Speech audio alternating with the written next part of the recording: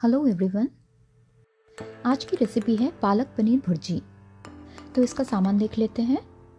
बारीक कटे हुए पालक के पत्ते चार कप किसा हुआ पनीर दो कप, छोटे कटे प्याज एक कप, छोटे कटे हुए टमाटर एक कप, बारीक कटे हुए लहसुन एक बड़ा चम्मच, हरी मिर्च कटा हुआ एक छोटा चम्मच।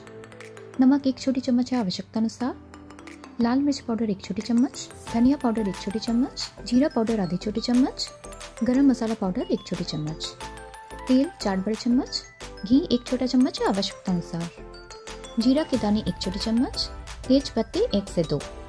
सबसे पहले गरम पैन में तेल डालेंगे चार बड़े चम्मच। तेल अच्छी तरह से गर्म होने पर उसमें डालेंगे दो तेज पत्ते, एक छोटी चम्मच जीरा। इनको अच्छी तरह से भून लेंगे। अब इसमें बारीक कटा हुआ लहसुन डालेंगे, एक बड़ा चम्मच। अच्छी तरह से मिलाकर गोल्डन ब्राउन कलर आने तक अच्छी तरह से भून लेंगे। गोल्डन ब्राउन कलर आ गया है और बहुत अच्छी खुशबू भी आ गई है। अब इसमें कटे हुए प्याज डालेंगे एक कप।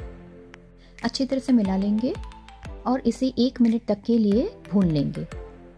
कटा हुआ हरी मिर्च डालेंगे एक छोटी चम्मच। अच्छी तरह से भून लेंगे और अब इन्हें हल्का गोल्डन ब्राउन कलर आने तक भूनना है। ये गोल्डन ब्राउन हो गया है। अब इसमें कटे हुए टमाटर डालेंगे एक कप। अच्छी तरह से मिला लेंगे। और अब टमाटर को हल्का नरम होने तक पकाना है।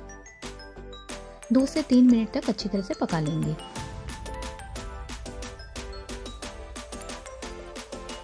टमाटर यहाँ पर नरम हो चुके हैं। अब इसमें मसाले डालेंगे।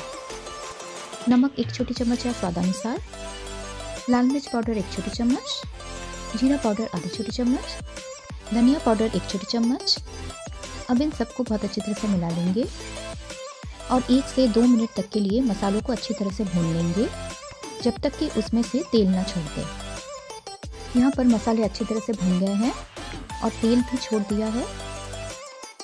अब इसमें बारीक कटे हुए पालक के पत्ते डालेंगे चार कप।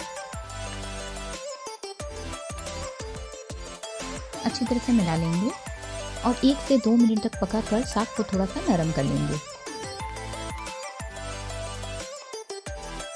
साग यहाँ पर थोड़ा सा नरम हो चुका है।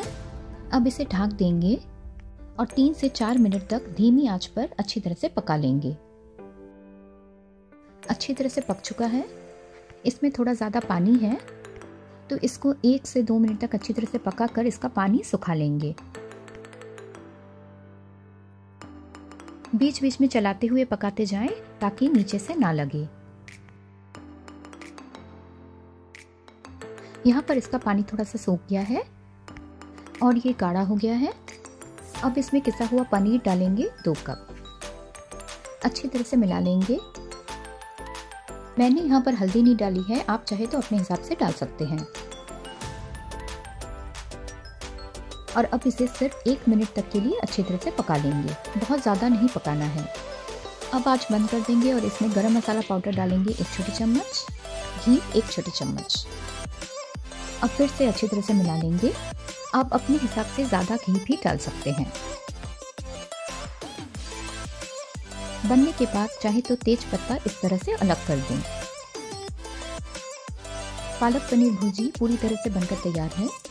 ये पालक पनीर भुर्जी आप रोटी, पराठा, नान, चावल सभी के साथ खा सकते हैं। बहुत ही टेस्टी रेसिपी है जो बहुत ही आसानी से बना सकते हैं।